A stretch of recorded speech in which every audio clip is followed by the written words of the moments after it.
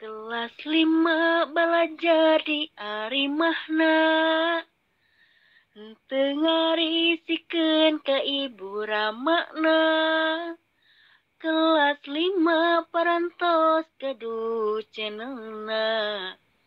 Di Guru Izar channel buka YouTube-na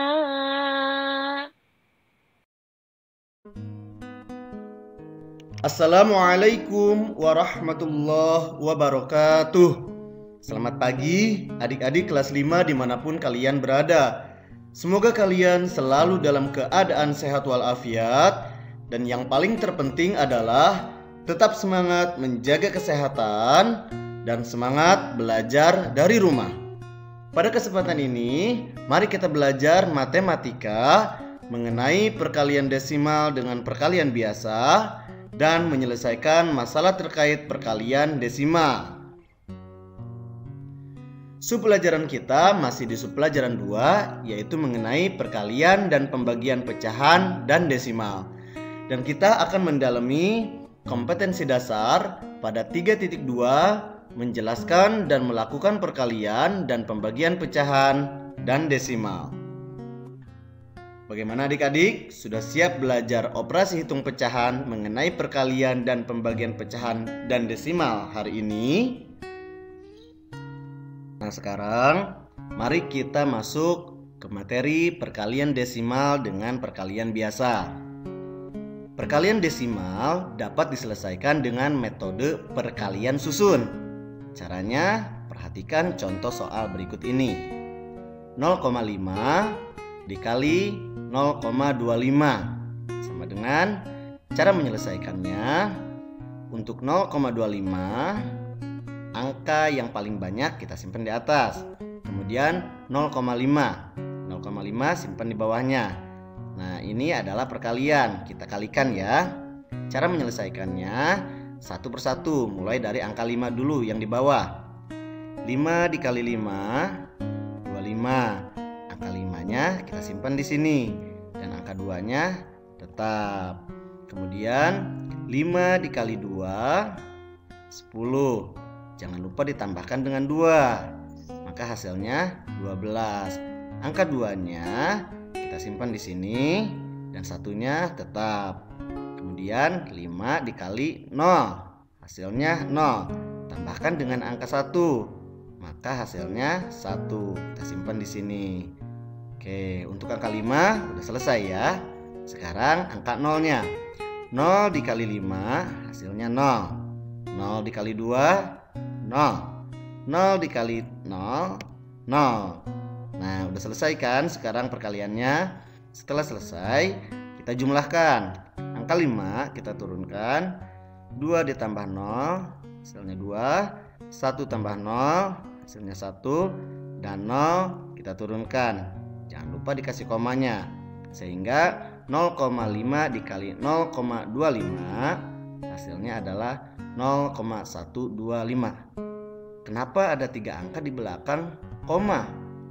Untuk hasilnya, karena untuk 0,5 ada satu angka ditambahkan dengan 0,25 ada dua angka satu angka dan dua angka jumlahnya menjadi tiga angka nah inilah disebabkan adanya tiga angka di belakang koma.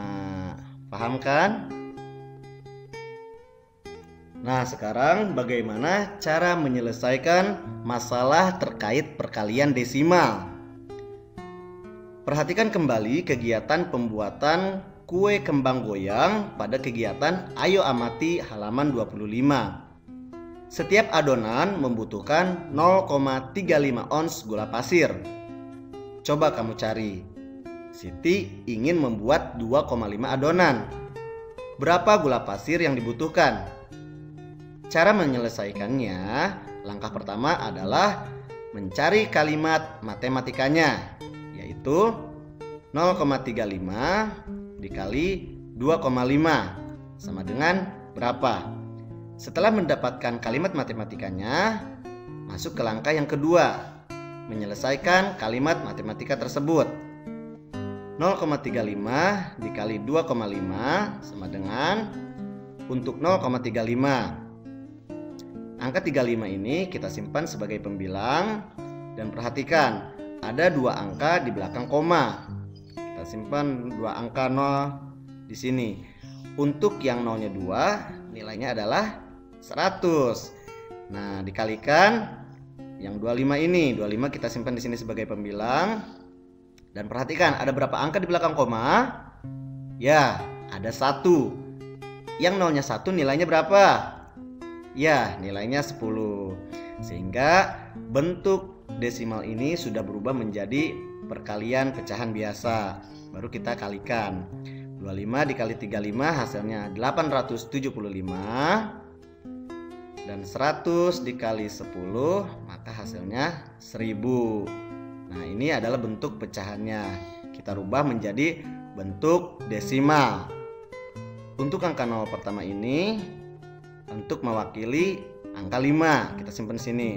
Kemudian 0 berikutnya untuk mewakili angka 7 0 yang terakhir untuk mewakili angka 8 karena nolnya sudah habis maka kita tinggal tambahkan 0, mudah kan? Hasilnya 0,875 kemudian masuk ke langkah yang ketiga. Menjawab pertanyaannya adalah sebagai berikut. Karena ini adalah bentuk soal cerita, maka jawabannya pun harus cerita juga dengan menyisipkan kata jadi.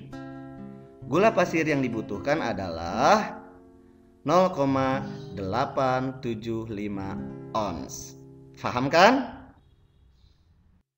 Nah, tugas kalian hari ini adalah kerjakan perkalian desimal berikut Tulis jawabanmu di buku tulis, lalu hasilnya foto dan unggah ke link yang sudah disiapkan. Selamat belajar dari rumah.